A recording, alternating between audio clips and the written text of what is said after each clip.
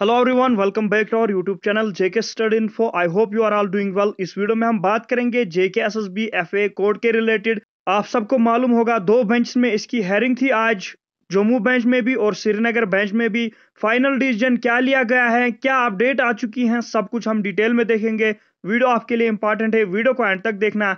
और अगर आप इस चैनल पर पहली बार आ चुके हो, चैनल को सब्सक्राइब ज़रूर करना, साथ में बेल आइकन को ऑल नोटिफिकेशन पर रखना ताकि आपको इसी तरह के लेटेस्ट अपडेट सबसे पहले मिले। तो दोस्तों, शुरू करते हैं आज के इस वीडियो को। आप सब जानते हो कि आज इसकी हेयरिंग थी श्रीनगर बेंच में भी और जम्मू बेंच में भी। यहाँ पर हम श्रीनगर बेंच की बात करेंगे। जम्मू बेंच की यहाँ पर अपडेट नहीं आई अभी तक। यहाँ पर आप देख सकते हो फिलिंग डेट सेवंथ मार्च 2023 किस किस के बीच में कोर्ट था पेटिशनर्स कौन थे, यहाँ पर आप देख सकते हो, Asif Majeed and others versus finance department इन्होंने केस इसलिए किया था, इन्होंने कहा है कि एग्ज़ाम जो कैलेंडर है, आपका जो एग्ज़ाम है, उस पर सिटे लाया जाए। यहाँ पर आप देख सकते हो लोकेशन श्रीनगर केस नंबर आप फ्यूचर रेफरेंस के लिए यहाँ पर कॉपी कर सकते हो। स्टेटस यहाँ पर पेंडिंग दिखा रहा है, लेकिन यहाँ पर अपडेट आ चुकी है कि ये जो केस है, इसका जो ऑर्डर है, वो अभी रिज़र्व किया गया है, इसका जजमेंट अभी रिज़र्व किया गया है।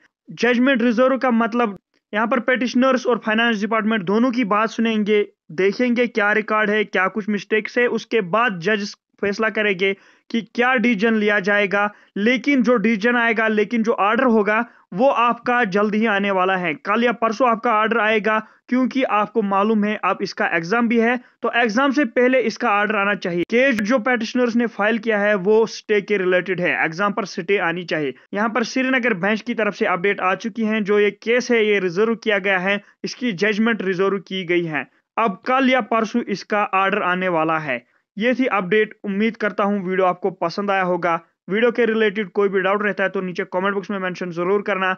मिलते हैं अपने इसे नेक्स्ट वीडियो में। तब तक के लिए गुड लक।